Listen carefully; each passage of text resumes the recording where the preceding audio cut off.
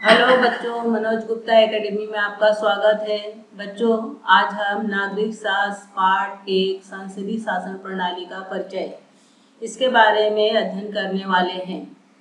बच्चों, तुम्हारे मन में कुछ प्रश्न ज़रूर आते होंगे कि भारत के संविधान में किस प्रकार का शासन व्यवस्था है। उसके अलावा, संसदीय शासन प्रणाली किसे कहते हैं?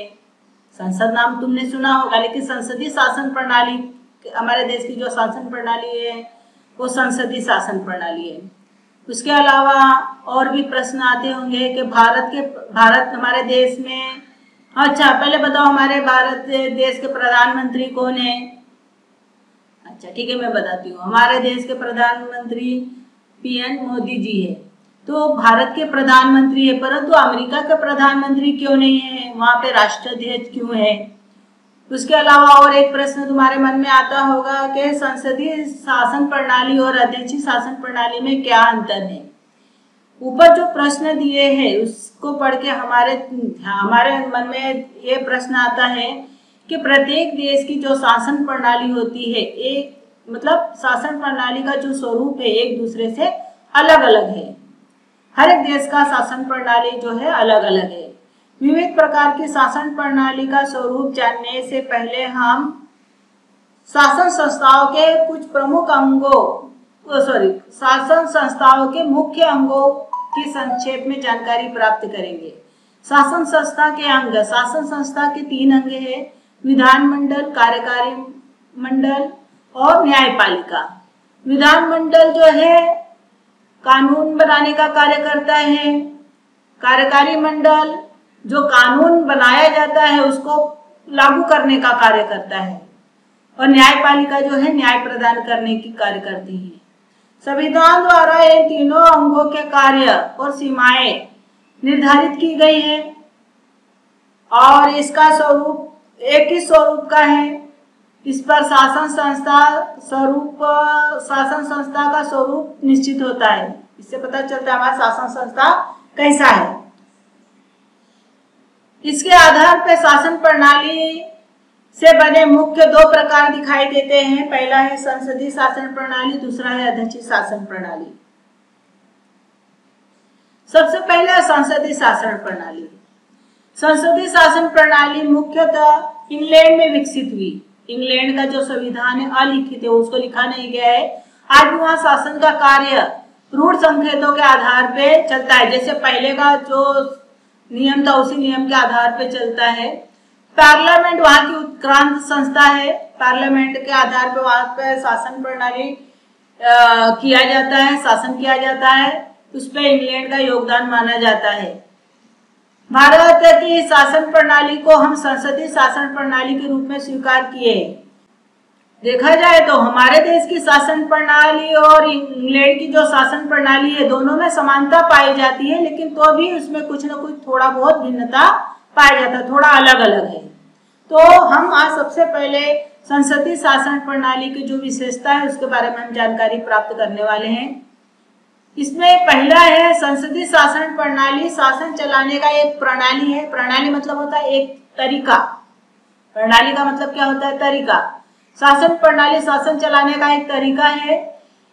केंद्रीय शासन प्रणाली के विधानमंडल को संसद कहा जाता है। केंद्रीय शासन प्रणाली का जो विधानमंडल उसको संसद कहा जाता है। और संसद में तीन चीज़ प्रमुख होता है। पहले राष्ट्रपति जो सबसे ऊपर होता है उसके बाद लो, लोकसभा और राज्यसभा। ये सभी को मिलाकर संसद बना संसद का निर्माण होता है।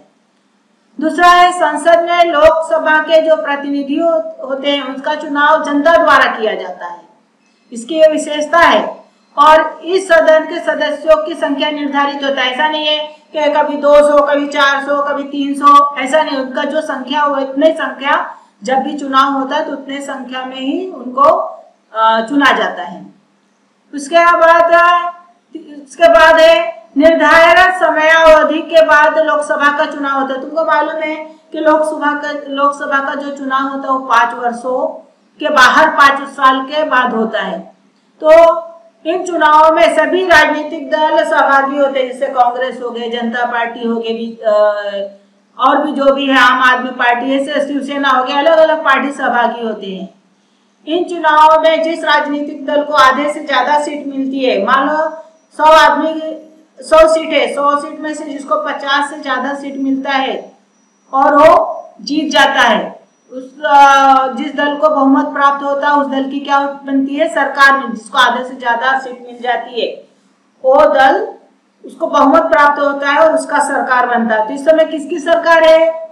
बीजेपी की सरकार है। क्यों सरकार है? क्योंकि इनको जब चुनाव हुआ, चुनाव में आधे से अधिक सीट प्राप्त हुई थी।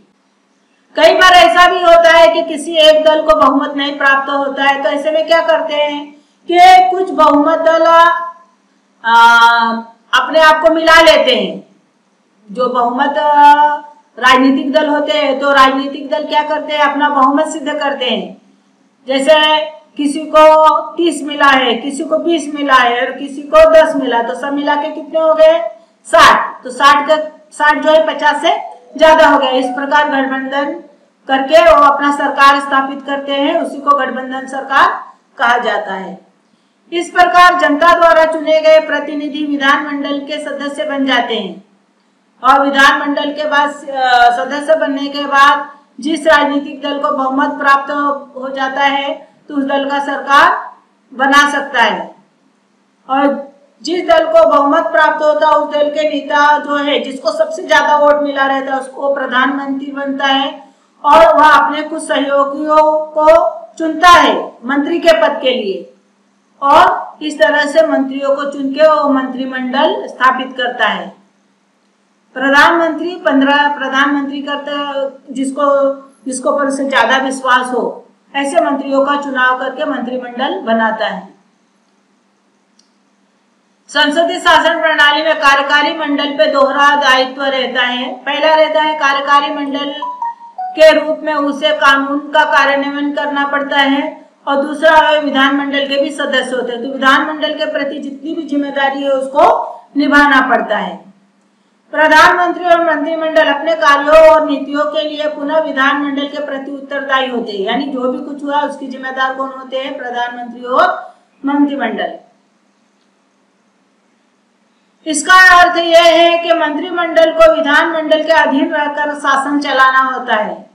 मंत्रिमंडल जो रहते हैं, विधानमंडल के नीचे, अधीन मतलब नीचे रहकर शासन चलाना होता है। ऐसा नहीं है कि मंत्री बन गए तो हम कुछ भी कर सकते हैं, कोई भी कानून लागू कर सकते हैं। नहीं, उनके लिए कुछ नियम निर्धारित किए गए हैं। इसलिए संसदीय शासन प्रणाली को उत्तरदायी शासन प्रणाली कहा जाता है। सामूहिक उत्तरदायित्व संसदीय शासन प्रणाली की एक प्रमुख विशेषता है। किसी भी भाग का निर्णय, राज्य का निर्णय मान लिया जाता है। इस निर्णय का उत्तरदायित्व संपूर्ण मंत्रिमंडल का उत्तरदायित्व होता है। उसे प्रत्यक्ष रूप में कैसे लाया जाता है, इसको हम उदाहरण के साथ नीचे, आगे के जो दो पार्ट उसमें हम देखने वाले हैं।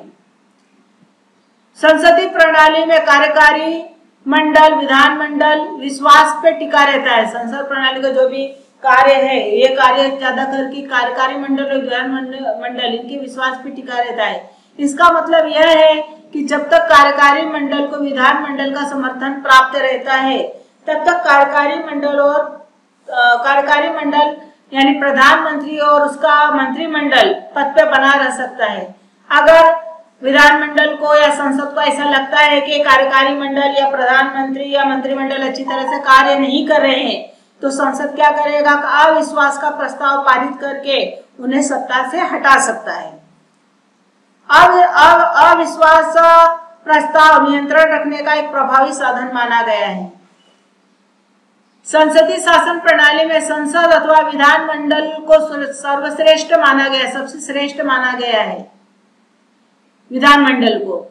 इसका भी कारण है कि लोगों द्वारा चुने गए जो प्रतिनिधि, जो नेता होते हैं वो चुने गए। वो क्या करते हैं? आम आदमी को जो अपेक्षा रहता है, वो सरकार के सामने रखते हैं। जैसे कहीं पे किसी क्षेत्र में मान लो सड़क हुआ या बिजली या कोई भी चीज़ को उनको परेशानी हो, समस्या किसके पास रखते हैं? सरकार के पास रखते हैं। और लोगों की भलाई के लिए क्या करना है?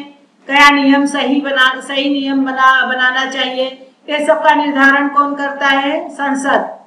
वो कानून बनाने का कार्य करता है, लोगों की भलाई के लिए उपक्रम चलाता है, चलाते हैं। संसद लोगों के प्रतिनिधियों का सदन होने के कारण और जनता के सर्वश्रेष्ठ अधिकार को व्यक्त करने के कारण संसद का जो स्थान है, सर्वश्रेष्ठ है। संसद जो है, प्रतिनिधि प्रतिनिधि जो नेता होते हैं उसका सदन होने के कारण और जनता को सर्वश्रेष्ठ अधिकार देने के कारण जो संसद का स्थान सबसे ऊँचा है। अतः इस शासन प्रणाली को संसदीय शासन प्रणाली कहते हैं। संसदीय शासन प्रणाली को हमने क्यों स्वीकार किया? भारत ने संसदीय शासन प्रणाली को स्वीकार किया, उसके पीछे कुछ कारण है। पहला कारण यह है कि जिस समय हमारे देश, जब, जिस समय हमारे देश में अंग्रेज़ों का शासन था उस समय हमारे देश में संसदीय शासन प्रणाली थी।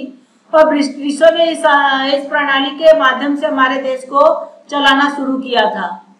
उसके अलावा इस शासन प्रणाली का परिचय भारत को पहले से ही हो चुका था क्योंकि अंग्रेज़ थे हमारे देश में उसी समय हो गया था। संविधान सभा में इस प्रणाली पे बहुत बड़ी चर्चा भी हुई और सभी संविधान बनाने वाले जो कार्य जो संविधान बनाने वाले थे उन्होंने इस प्रणाली को भारत की परिस्थिति के अनुकूल है, ऐसा उन्होंने इसमें बदलाव किए थे।